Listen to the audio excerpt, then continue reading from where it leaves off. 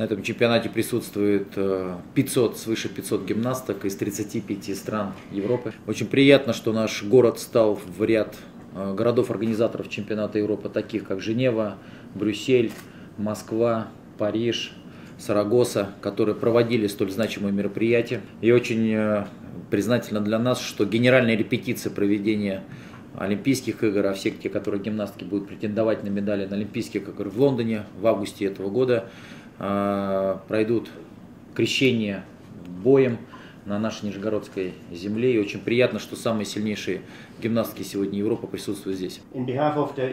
От лица всего Европейского гимнастического союза а, я приветствую вас на пресс-конференции, посвященной 28-му чемпионату Европы по художественной гимнастике, проходящему здесь, в Нижнем Новгороде. А, как вице-президент Европейского гимнастического союза, а, я хочу пожелать вам всего самого наилучшего от лица также исполнительного комитета и особенно от нашего президента Жоржа Гельзека. В этом году Европейскому гимнастическому союзу исполняется 30 лет. И за последние 30 лет э, Союз развился в очень серьезную организацию, а, ориентированную именно на художественную гимнастику или гимнастику в целом. Сегодня а, особенно представителями являются 8 дисциплин. Э, это мужские а, упражнения, женская гимнастика, художественная гимнастика, батут, спортивная аэробика, спортивная акробатика, многоборье. Возвращаясь к теме э, проведения чемпионата Европы по художественной гимнастике в Нижнем Новгороде, я хочу подтвердить, что очень э, на высоком уровне находится организация и инфраструктура. И я уверен, что э, в данных условиях чемпионат пройдет на самом высоком уровне. Национальные федерации пользуются данным мероприятием, спортивным мероприятием, для того, чтобы попробовать свои силы перед летними Олимпийскими играми в Лондоне в 2012 году.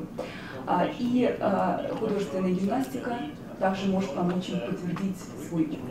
Соревнования здесь, в Нижнем Новгороде, проходят под эгидой и под контролем а, технического комитета по художественной гимнастике и его президента Хайда Брюнедер, а, человека, который, который имеет огромный опыт а, в данной области.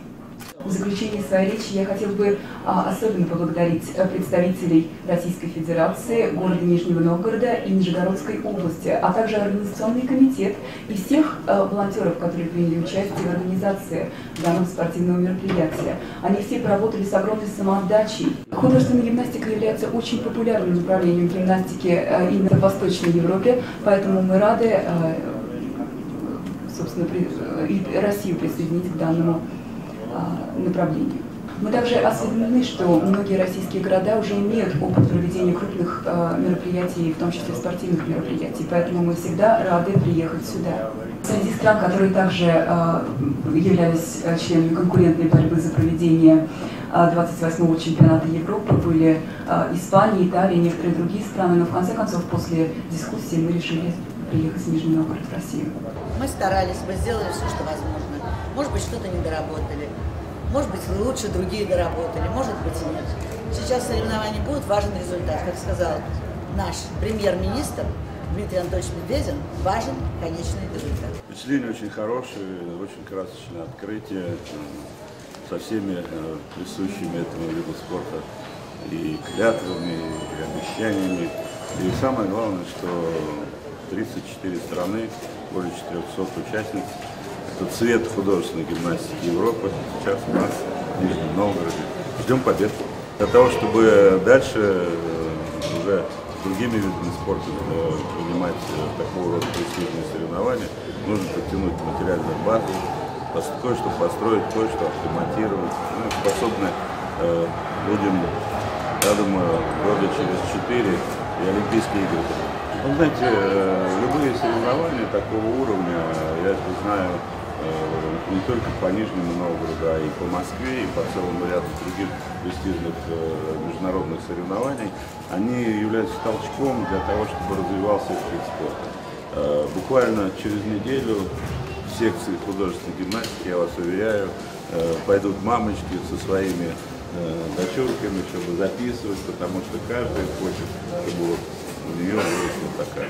Это и в синхронном плавании то же самое, это и в хоккее, э, в любом виде спорта. Поэтому э, мы ждем, и так у нас художественная гимнастика очень развита, является престижным, узнаваемым видом спорта. Мы ждем наплыва нашей секции. Сейчас мы создали нормальные условия в Олимпийском центре подготовки. В наших фоках работает уже э, группа художественной гимнастики. Чем больше будет заниматься, тем больше будет звездочек, которые вот будут нас представлять на чемпионатах Европы, мира, Олимпийских